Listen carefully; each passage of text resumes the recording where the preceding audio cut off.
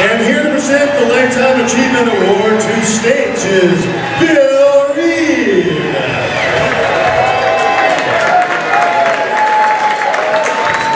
Man, oh man. I tell you, there are a lot of people out here who remember the States, and I certainly do. I tell you, in the 13 years we've been here in the Norva, we've had great musicians walk across the stage. And I've had the opportunity to introduce them to the Norfolk Hampton Roads audience. But tonight is a really special occasion for me because I couldn't be any prouder. These guys came out and they did it. And so I want to tell all the local bands out there that if they can go out there and get a major record deal, you can do it too. So, because so far, the only band, only rock band at a Tidewater to be signed to a major worldwide record label are the States. Ladies and gentlemen, the States! Give it up for the States,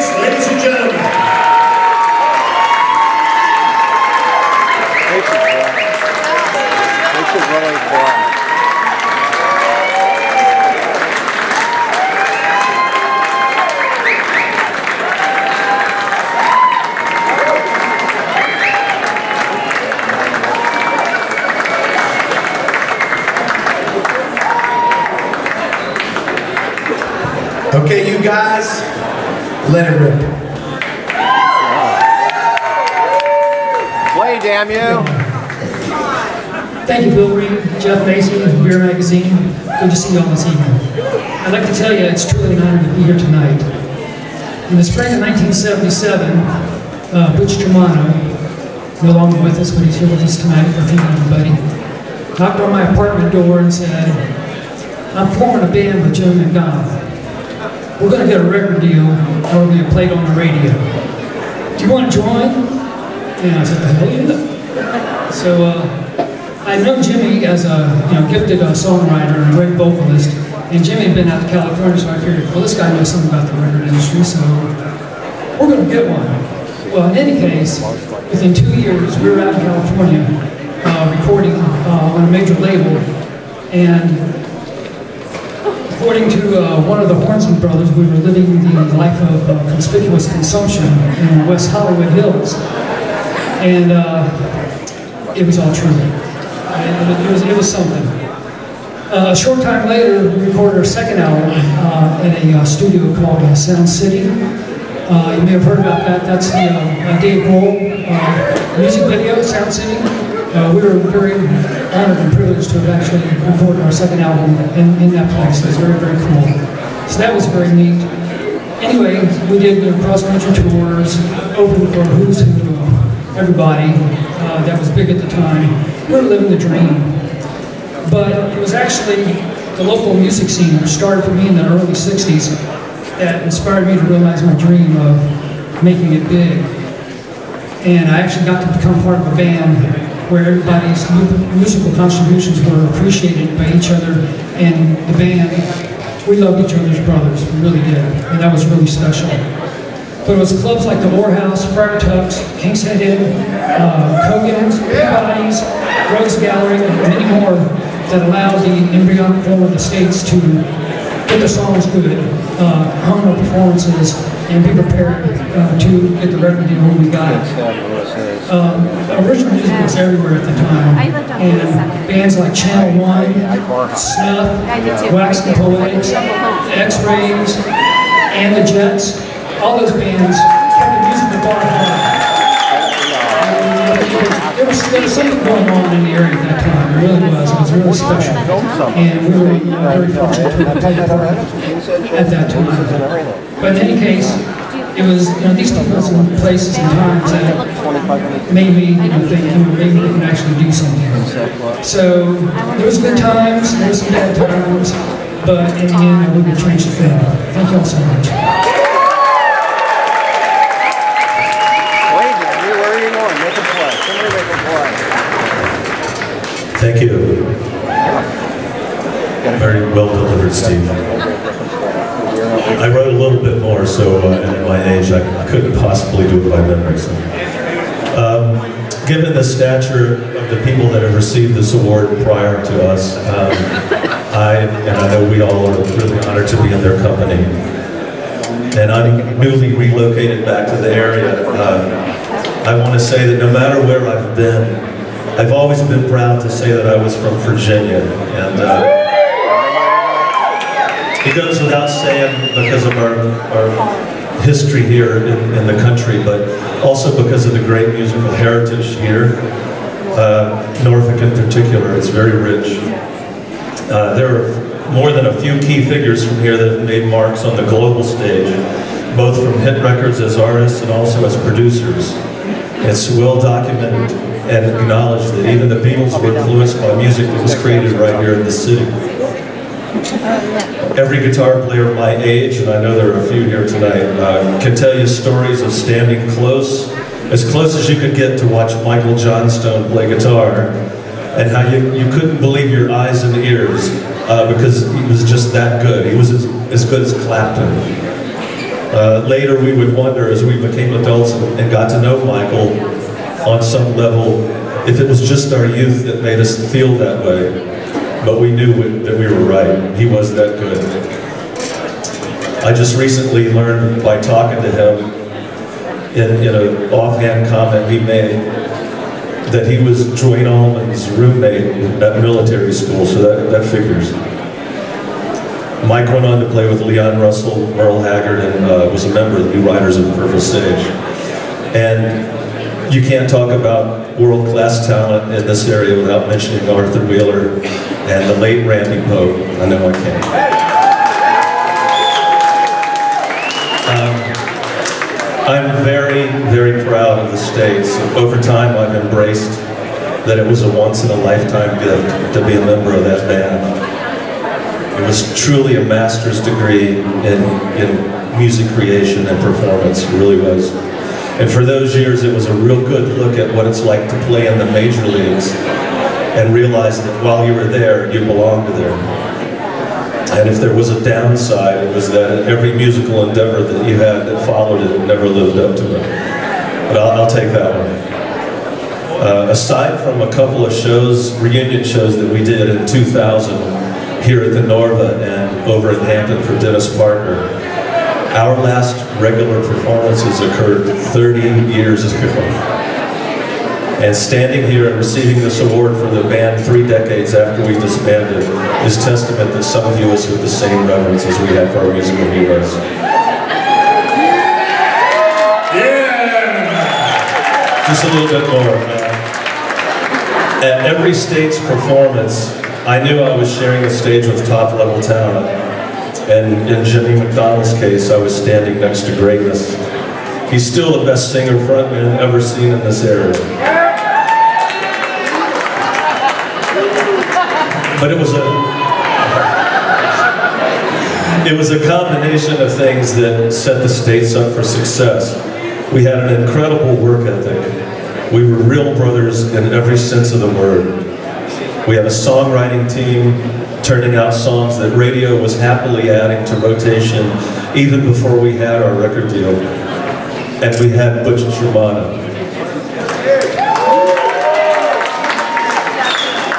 We had real fans showing up to sound check at 5 p.m. or so in the afternoon and seeing a line of people waiting to get in for a show that wasn't going to start till nearly 10 was like a dream.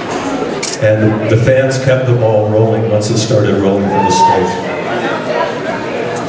And I have to go back and talk about greatness for just a second. Morgan Hampton is not here tonight. He lives near San Francisco, so that's a long trip. Yeah. To tell you how good Morgan was, I'd have to stand in a very long line. I remember playing in Raleigh, North Carolina, and seeing Elton John's drummer Nigel Olsson walk through the door. He had heard so much about Morgan that he had to see it for himself. Uh, or the time we played a show with Toto, and Mark Merman, who's standing on the stage here, or was, he was. Mark was Jeff Porcaro's drum tech at that time, and he told him, you're really going to have to work tonight because this guy, Morgan Hampton's a really good drummer. he also said the same thing to the, to the singer. And when Morgan left the band, there were some really, really big shoes to fill.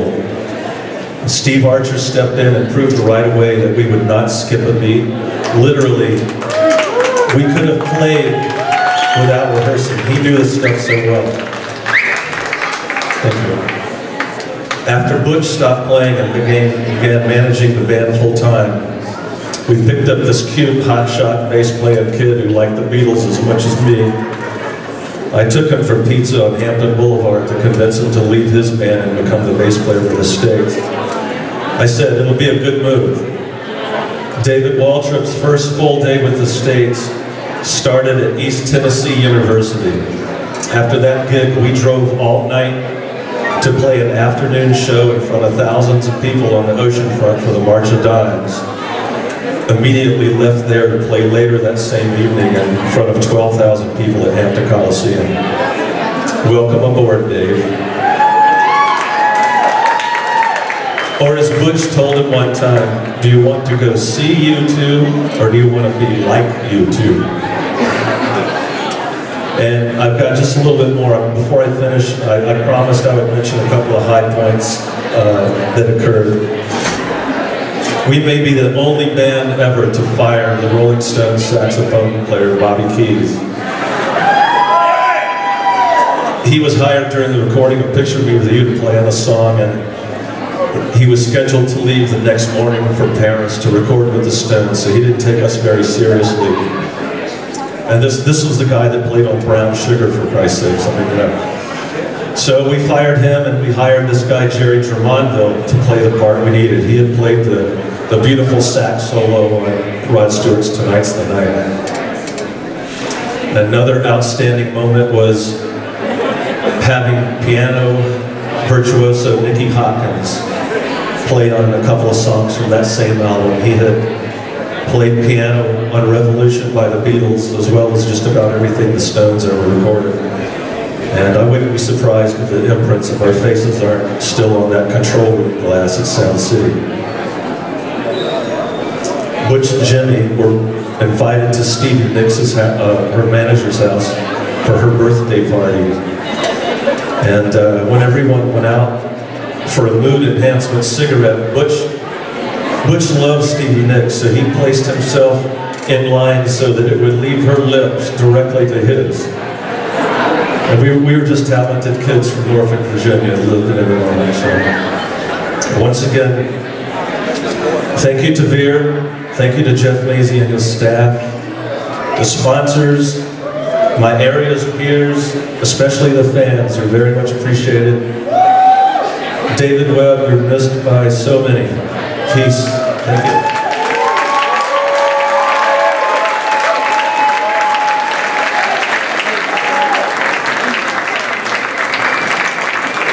Jeff, I promise I'll keep this short. I don't have the steel trap of a memory that Barry has. Got it. He puts it on paper. It works. Um, and I think I'll start from the end.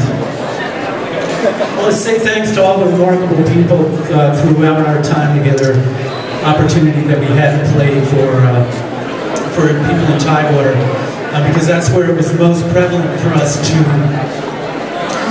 show up for a sound check and see people standing in line in really shitty weather, and then later on just being greeted with the same remarkable smiles. So thanks to Tidewater listening uh, audience first. If I could say also, this is a remarkable honor, so thank you, Jeff, and uh, your staff of remarkable writers that keep doing great things for local music. It's really appreciated. It's top-notch. Every time I read, I'm inspired. They all do a wonderful job for here. So thank you. Um, and uh, um, so start at the beginning. You never know what's going to happen when you when you put a microphone in, in front of a retired frontman. I'll try to keep it light. Uh, we've all had opportunities lately over the last couple of years to reflect on our career together uh, since Butch passed. Um, and I realize now uh, what a special time it was for myself and being able to share with these guys uh, what it meant to them. Uh, it's been a wonderful last couple of years in spite of losing our brother. Achieving success with the band brothers is an amazing thing. Our time together was influenced, it has influenced, and benefited me in every endeavor in my life. So uh, this one's for you, Bridget. When we were coming up, we were told as kids, this is a long time ago, so we were told that if you thought you had it, that you needed to leave here and go to the big city and prove it. So in my early 20s, I joined a, an original act called Mason. We went to uh, Los Angeles and tried to make it, but we didn't. But I'll tell you what I did do. I soaked up everything that I could possibly learn about the music industry. I decided to come home and not make the same mistake a second time. Make the second time count. So when I got back, I wrote a batch of songs. Mary and I switched off and on, having jobs to support each other. I called Butch, I called Steve, who at the time, oh, excuse me, they were heroes, heroes of mine uh, coming up through Jake vs. Prilly. And uh, so I called them and I said, uh, you want to start a band? And they said, yeah. So then the three of us learned some songs. We called Barry, who was on the West Coast trying to make a name for himself at the time. Uh, he said yes, which completely made my day.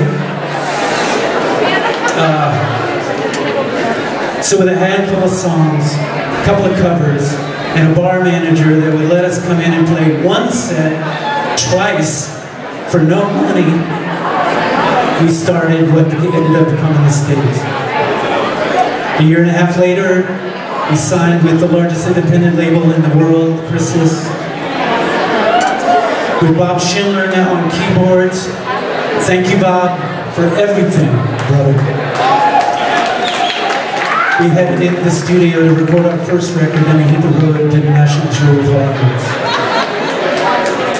A lot of people thought it couldn't happen, but it did. I'll never forget what a fantastic time it was for music here. I want to say congratulations to everyone here tonight that have gained the attention of the fan base that support them. It's not easy. Congratulations to all of the acts that are taking the next step to national recognition, that's not easy. For all the players here tonight that are trying just to make it up to the next step, I want to say, you can. You can make it. If the talent, the desire there, you can do it. Keep doing what you do, do it well, stay true to each other and your fans, and keep the faith in what you're creating is meaningful and good. I want to say thanks to Steve Morissette, Bob Schindler, Morgan Hampton, Steve Archer, Dave Waltrip, and all the incredible people that, that we've had an opportunity to play with. Our remarkable crew, Mickey Watts, Mark Merman, David Harwood, Gary Anderson, Sean Kelly, and Mark Dowdy. The guys that burned it all night, every night, every night, every night on the road. Want say thank you to Kathy Moore, Dave Sherry, Johnny Evans, Dennis Parker, Bill Beattie.